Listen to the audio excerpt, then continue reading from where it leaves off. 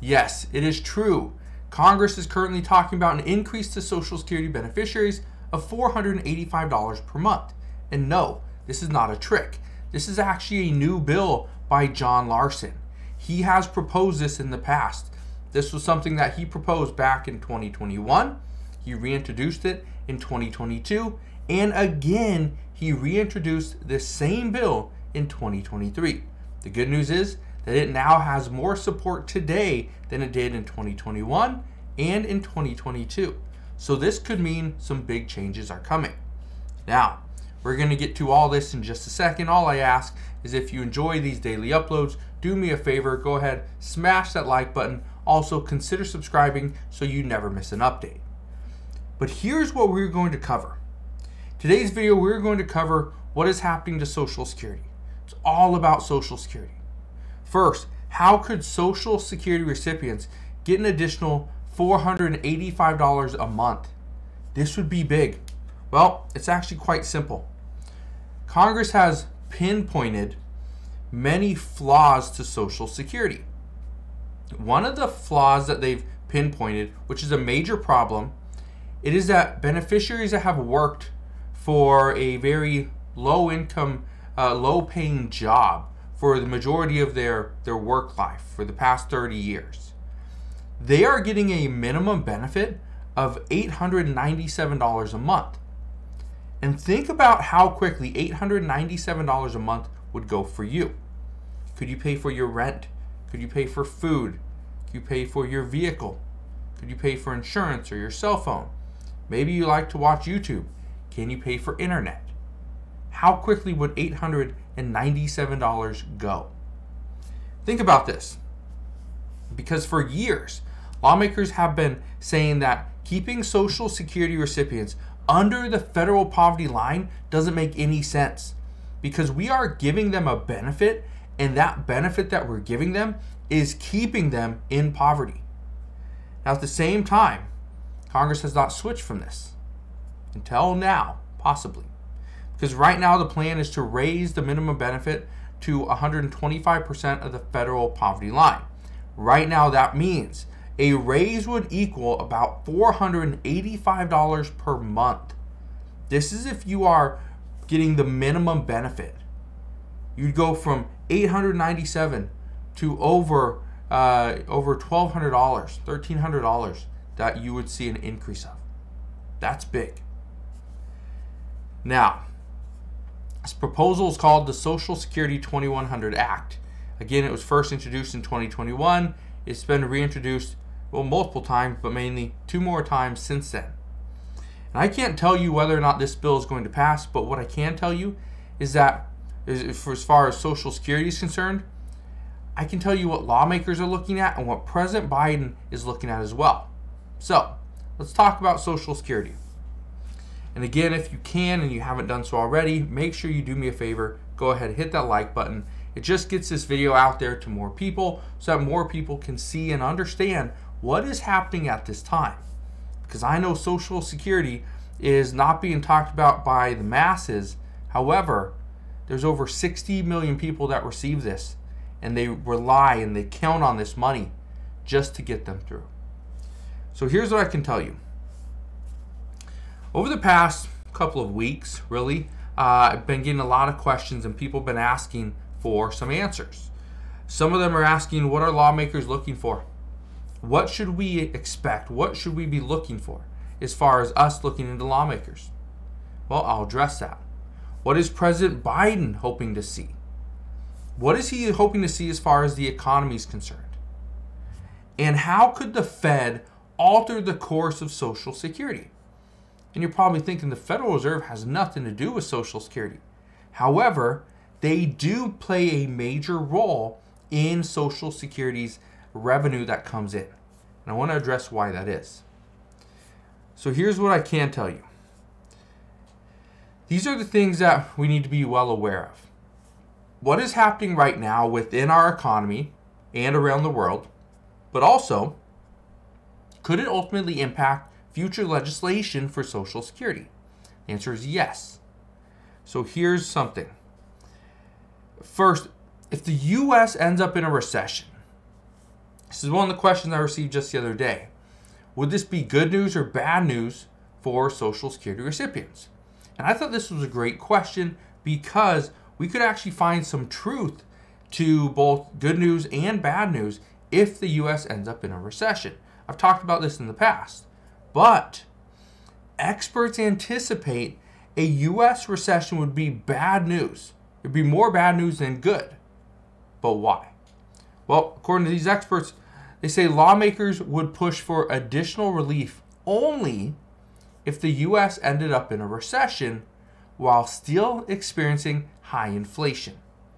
If the US ends up in a recession but inflation is down at 2 to 3%, we will be fine because lawmakers can then go and pass legislation to provide additional support and relief. But if inflation is still high, we're not going to get anything like a stimulus check. It's just not going to happen. Experts are warning that inflation is the key to everything in 2023 and 2024. If we end up in a recession, then Congress must pass legislation that will help get us out of it. But the legislation that gets passed, it can't provide upward pressure on inflation. So automatically that takes an increase to Social Security right off the table. We cannot see an increase to Social Security. Okay? And you're probably thinking, well, didn't you just talk about the Social Security 2100 Act? Yes, I did. The Social Security 2100 Act does increase uh, the minimum benefit amount. However, that does not mean that uh, 60 million people are going to receive an increase of you know $485 a month. That's not what that means because not everybody is getting paid the minimum benefit amount.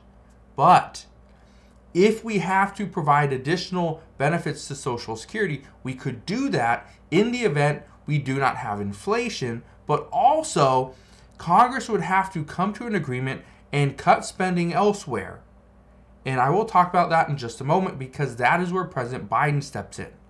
I'll get to that in just a second.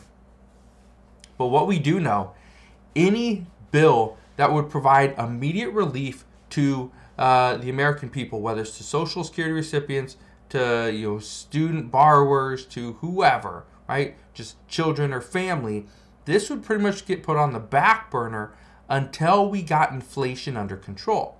Because experts predict lawmakers would propose many bills, but nothing would really benefit the American people until three to six months of economic pain.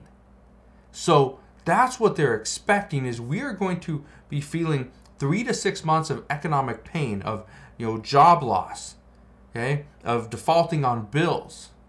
We are going to go through that for three to six months first, and then maybe we get something because after three to six months, inflation could come down substantially because we got no money to spend. And then at that point, we could potentially see, uh, you know, the Fed turn things around, start to lower rates. We go and spend a little bit more. People start, or businesses start hiring people once again. This could be good news. But again, this could come after three to six months of some economic pain. But how does this impact Social Security? Well, Economic pain for three to six months will likely mean there's less people working, right? Companies are not bringing in as much money, they're laying people off, and as less people are working, that means the Social Security tax that is collected actually is less, which means that if this takes too long, right, and we are feeling this economic pain for quite a while, Social Security recipients continue to get their payments.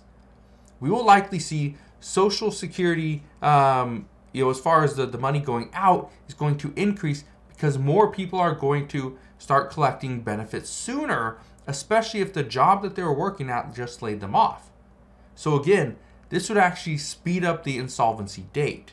This would be a major concern. However, here's where President Biden does get involved and potentially make things better for Social Security recipients. So, could he do something? Yes and no. Right now, President Biden is is hoping that Congress can come together, pass a massive Social Security reform bill, tax the wealthy, and this would solve Social Security's problems for the next 75 plus years, right? That's what they're that's what he's hoping. However, I think we can all agree, uh, based off all the statements lawmakers have made, based off what experts have been telling us, Republicans would never go for this. This is something that will never get passed, especially with the Republican majority in the House of Representatives. But what can happen and how President Biden actually steps in and could improve Social Security is by dropping a couple promises. President Biden made a few promises, okay? He talked about nobody making less than $400,000 per year would pay a penny more in taxes, right? If President Biden were to drop this promise, it would make Congress's job much easier. He's also promised a $200 uh, per month raise to Social Security recipients. I think at this point, we can almost just stop talking about that because I don't see it happening. I just don't see it happening. And then one of his other promises President Biden promised that uh, he he would provide student loan forgiveness to borrowers that uh, have up to twenty thousand dollars in student loan debt that make under I believe one hundred twenty five thousand dollars per year. All this different stuff, right? Well, if President Biden were to consider signing the Republican proposed bill that blocked all student loan forgiveness, which he just vetoed last week, Congress could actually use this as a bargaining chip.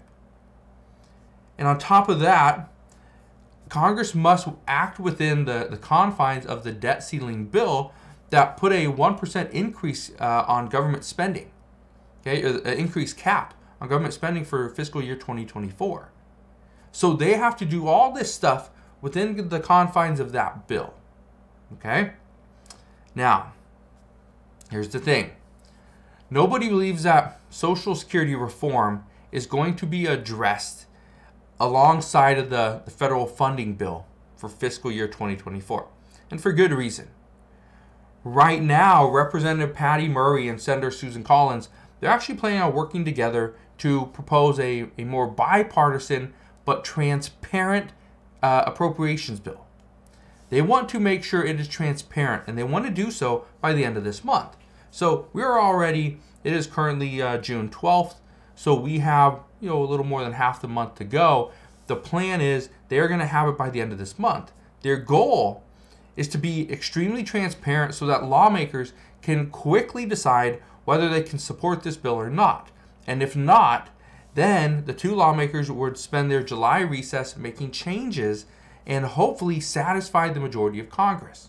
But again, it all starts now the, the reason why President Biden is a key factor here, other than just being the president and the leader of pretty much all Democrats, the reason why he's a key factor here is because if he were to drop these promises of anybody making less than $400,000 per year would never pay a penny more in taxes, guess what?